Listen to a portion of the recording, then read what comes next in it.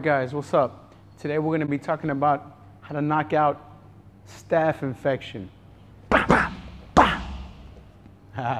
right. So, what is staph infection? Basically, guys, staph is a type of bacteria that normally lives on your skin. All right? It's all over the place, it's all over the world, it's all over your skin, everywhere. But the, the normal one that's on your skin is not aggressive, it's not attacking your body. All right?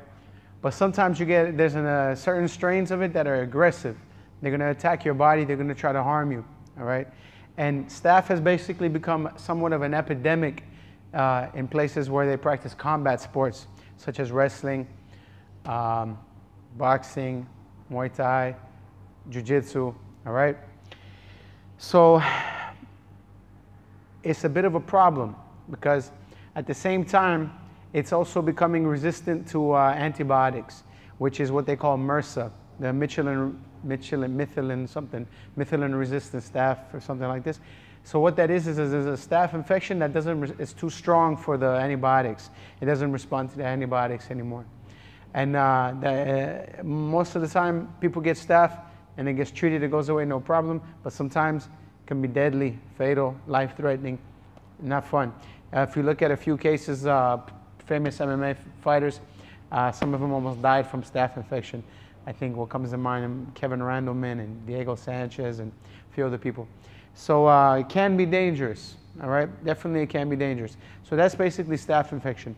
There's uh, quickly, there's, there's like a different form, I'm gonna go over the different forms that it takes. The most simple one that, that, that, uh, that is real common is called impetigo. And what that is, is just basically little blisters on the skin. There's impetigo. Then there's one where basically it's a little bit deeper than the surface of the skin, but it's not like to the muscles and like the you know bones or nothing like that yet. It's just a little bit deeper. And that one is like a kind of like a hard raised wound with like a pimple looking center, but it doesn't pop. There's nothing inside it. And the, the skin on the center is like discolored, kind of yellowish. Um, and it kind of hurts and it's kind of hot when you touch it. Then uh, there's something called uh, basically a boil uh, or they also call that a, um, what's the medical term for it? I think it's called a um, abscess, an abscess, all right? And what that is is where like inside the, muscle, the, the tissue of the muscle, uh, there's an, actually a pocket of pus and a cyst, something like that, all right? And then there's kind of like a fourth one too, where it's called cellulitis, where like basically the body uh, swells up, swells up, you know, maybe your arm close to the lymph nodes, it swells up because of the uh, because it's fighting the staph infection. All right, so that's basically staph infection. Now, let's talk about a little bit of prevention real quick. Precautions and prevention. the main thing is this, guys. Two things. If you train at an academy, you know, like I said, jujitsu, wrestling, boxing, two things. Shower right away. All right. Don't delay taking a shower. So, for example, if you finish training, guys, you know, don't finish training on your way on your way home. You stop and get something to eat, hang out with friends, you know, and then like an hour later, when you get home, you take a shower. It's no good like that. If the sweat that's on your body has had a chance to dry, more than likely you're gonna get staph infection. All right, it's highly possible. So you got to take a shower before that sweat dries. Best thing, bring you a change of clothes and shower inside the gym that you you train at, and I wouldn't use an antibacterial soap unless you already have staph, all right? If you're just, you know, trying to prevent it or whatever, stay cautious. Use a, um, use a natural soap. One that I recommend uh, is called Defense Soap is created for combat athletes. And basically, what that does is it uses um, essential oils and herbs and what have you to, to fight the bad bacteria and it leaves the good bacteria on your body alone. But when you use antibacterial soaps, it kills all the bacteria, the bad, the good. And the good bacteria, they, they kind of regulate that bad bacteria. So don't use an antibacterial soap, use a, use a good natural soap. Defense soap is a good one. I'll leave a, a, a link to a, uh, an Amazon link uh, in the description of this video. Um, so defense soap. The next thing is, guys, get your own equipment. Get your own gloves, get your own shin guards, get your own headgear. All right? Don't come into the gym and use that old funky pair of gloves that are in the corner. Uh, if you do that, everyone's been using them, it stinks, it's old, probably a staph pit. That's how you get staph infection. All right?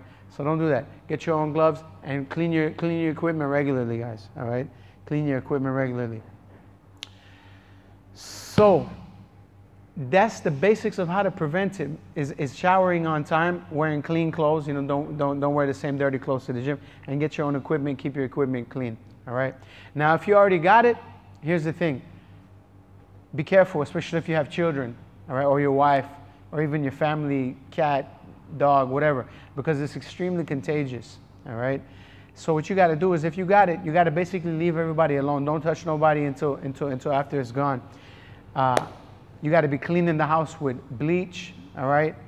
Spraying the house down with bleach, washing your sheets regularly. Don't, don't share towels, you know, nothing like that. And uh, get a good, uh, you know, wash hands a lot because it, it, it, spreads through, like when you when you touch touch people and you haven't washed your hands. And um, get you a hand sanitizer that you can use as well all the time. Once it's gone from your house, you know, then, then you can play with your kids again and this, that, the other. If not, it's extremely, extremely uh, contagious. And kids get it and they pass it around real quick because their hygiene isn't as, as good. So um, if you have an academy or something like that, uh, like Alhamdulillah, what we have here, um, you have to really keep the mats clean. You got to keep the mats clean. And uh, what I found is that nothing works quite as good as uh, bleach. All right bleach works better than everything. All right, now some people don't like it because it leaves the mats a little bit slippery, but you can mix it with some other stuff to kind of like make it less slippery. Anyway, you'll figure it out. But as far as cleanliness, cleanliness, bleach is the best way to go. So what you do, I think, basically like the the U.S. Uh, Wrestling uh, Federation or whatever it is recommends uh, mixing 75 milliliters of bleach with per gallon of water. Mix it up, boom, spray your mats let it sit 15 minutes, mop it up with a clean mop, and, uh, and that's it. There you go. All right, now, as far as treating it, all right, treating staph infection. You can go to the doctor, all right, and most of the what they're gonna most of the time what they're gonna give you is gonna work. But in case it doesn't, and you need a natural remedy, I'm gonna tell you what worked for me.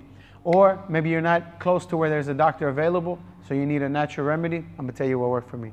All right.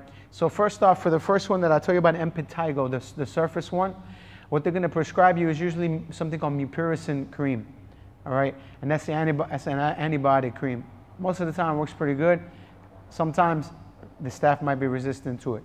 Another thing that works good, but I don't know if it's available in North America, something called fusidic acid and that's a topical cream as well, and it works good for the impetigo. Um, if it's the kind where it's deeper than the impetigo, it's, uh, they're going to probably give you an antibiotic. The antibiotic that I find works the best, from my experience, is called a uh, cephalexin. I think they call it Keflex for short. Um, that one works pretty good. All right. Now, if it's a boil, abscess, what's going to basically have to happen is that the thing has to be expelled. All that gunk has to come out of your body before it's going to get better. And many times uh, they, they, will give you antibiotics, but once it's expelled, uh, usually it, will heal on its own um, without the antibiotics. But you could take antibiotics just in case. All right. So the, the third one, the, the cellulitis as well, the one where like your lymph nodes swell up or your body swells up, that one they'll give you antibiotics for as well. So if whatever the case you can't get the antibiotics or they don't work, or one of the reasons you have to understand that there's MRSA, the antibiotic resistant strains, is because of the overuse of antibiotics. So for whatever reasons, if you want to get rid of it the natural way, this is how you go about it, all right? The impetigo responds to tea tree oil. All right, so what you do is you just wash it with antibacterial soap, get the scab off of it because the bacteria are under the scab. The scab comes off easy, it's not like a rough scab. And then you put the tea tree oil on there like two to three times a day, and uh, hopefully that should get rid of it. Um, the tea tree oil I like to use is a brand called Jason. I'll leave a link in the description to the Amazon, an Amazon link where you can, uh, where you can purchase it. Um, so tea tree oil works for that. Now, if it's the other kind that's more than the impetigo, it's like, meaning it's inside the body a little bit, but it's not quite an abscess. All right, the one with the yellow center. That one, tea tree oil is not going to do nothing because it has to get inside too deep for the medicine to work and it can't get inside. What works the best for that, all right, is straight up garlic. Garlic is amazing. Garlic will kill that thing in a day or two, all right? But you just keep that garlic on there for like three or four days just to be, just to be safe. Um, But the problem is that most of the garlic that you find in the store it has been gone through a treatment called irradiation. So they, they, they, they put it on irradiation because it makes it last longer. That way they make more money out of it. But, the, but, but the problem with the radiation is that it kills the living cells in the garlic, and the garlic doesn't function anymore uh, medicinally. All right, and the way you know is because when you cut the clove open, it's all white on the inside, and there's no greenish like shoot in the middle. And if you let that piece of garlic sit, it's not going to grow like a, a, shoot out of it. Whereas real garlic, if you let it sit after a few months, a few weeks, it'll start to grow a sprout. Um, and also the, the irradiated garlic, it tastes and smells like garlic, but if you put it on your tongue, it doesn't burn your tongue, it doesn't burn your hands when you hold it. But the real garlic, it'll, it'll sting you, it'll burn your tongue, it'll burn your hands. That's how you know the medicine is working. All right, so if you get organic garlic, it's gonna be all right. It's not gonna be irradiated. If, it, if it's not organic, you have to check it, cut it up, see if it burns. You know, most of the garlic out there in the in the in the street in the in the um, grocery stores is irradiated. So you got to specifically look for a good one that's not irradiated. Then, if you stick that garlic, you cut it into a slice, a slice, little thin slice. You put it on the infection. Boom, it's gonna start killing the infection. You just slap, put it on there, slap a band-aid on there, plaster, whatever. Put it on there, leave it on there for a few days, and every day you can change the garlic out. Now, some people are more sensitive than others, and the garlic will straight burn their skin. So what you can do, what I like to do, I like to do this anyway, whether you're sensitive or not. Mix, slice up the garlic real thin and mix it with some good honey, all right? Then what you do is you put that honey on the wound, then you put the garlic, then you put the bandage. That way the honey buffers the garlic a little so it doesn't burn your skin. So there's gonna be a link in the description for the honey, guys. Um, so garlic, irradiated garlic, I mean, I'm sorry, non-irradiated garlic, all right? Very, very important, guys. All right. So you put that garlic on there, it'll kill it. I've seen the, the, the kind that's the cellulitis, the kind where it swells up, you know, like the person's uh, body is swollen. You put the, they put the garlic on, and in two hours it starts to deflate. That garlic is super duper powerful. It's really amazing. Um, if it's an abscess that you have and there's pus on the inside, all right, you do the same thing. You put like a honey, the honey and the garlic on there, put the, put the, put the uh, uh, band-aid on there, and eventually that, that garlic is gonna allow like the pus to, you know, make the skin thin at the top and allow it to come to a head. Then when it comes to a head, guys, if you're gonna expel it yourself, you don't press on it, you know, you press away, away from it, around it, press around it, around it, around it, so that the infection comes out, you don't push it deeper into the muscles. And once you get it all out, boom, boom, leave that garlic and honey on there for a few days, and um, that should do it. Now, I'm not a medical professional, guys, you know. You wanna go to the doctor, hey, that's the best bet. If you trust your doctor, go to the doctor, see what your doctor's going to say. But if you're not around a place where you can get to a doctor or you don't want to take the antibiotics, then boom, you got the garlic. It's amazing. But remember, the garlic doesn't work for the impetigo. It works more for the ones that are deeper. For the impetigo, you got the uh, tea tree oil. All right. Now, there's certain times where you should just jump on the antibiotics. And that's if the infection is close to your brain, if it's starting to get into your bloodstream, if the place where you got the infection starts to have red streaks coming from it, you start to get a fever, this kind of thing, it means that it's starting to go inside your body. Because staph can also go inside your body, attack your brain, your blood, organs, could be very dangerous. So if it starts to do like that, all right, or if it's on your face somewhere, you know, close to your brain, boom, just take the antibiotics. But if the antibiotics don't work, you could try the garlic, all right? Now, uh, the other very important thing, guys, last thing I'm gonna leave you with, if you got a staph infection, do not have any type of surgery at all whatsoever. Don't get a tooth extracted. You know, don't, don't, don't, don't go for any kind of surgery whatsoever. Because many of the times when the, the, the staph gets way deep into the body and attacks the organs and becomes life-threatening is when the person had a staph infection and then they went and got a surgery. The one that uh, comes to my mind right now is an MMA fighter. He had just a normal staph infection in his face or something like that. And, um, but he had a torn ACL and he went to go get an ACL reconstruction surgery. After he had the surgery, they stitched him up, boom, his knee started to swell up twice the size, full of pus. They had to put him on antibiotics. He got a fever. He was about to die, straight up about to die, all right? So why? Because the staph was still on his body and it attacked inside where they were cutting him up and all of that. So stay away from having surgery if you uh, got any kind of active staph infection. Um, other than that, mm, support our gym, guys. We got the shirts available here. Everyone wants to be a lion until it's time to do what lions do. We got that, guys. We got the, uh, boom. We got the Izza MMA gloves, guys. So support the gym. If you want to get the gloves, hand wraps, shirt, you can uh, send us an email at info, I-N-F-O, at IZZAMMA.com. That's IZZAMMA.com. Send us a message. We can get you the gloves, boom, shirt, hand wraps. So um, that's it for the staph infection, man. That's uh, from my experience. Uh, I've been training uh, over over 10 years, over a decade. Um, had to deal with the staph probably like two or three times, two or, two or three different occasions.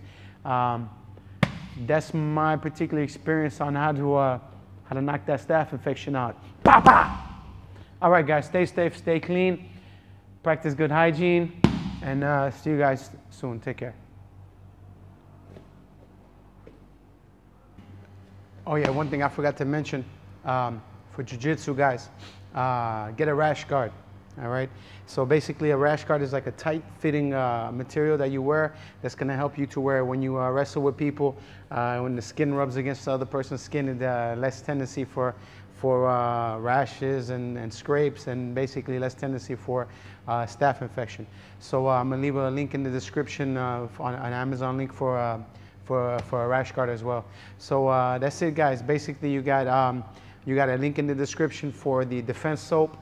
You got a link uh, in the description for the uh, honey. You got a link in the description for the tea tree oil that we used.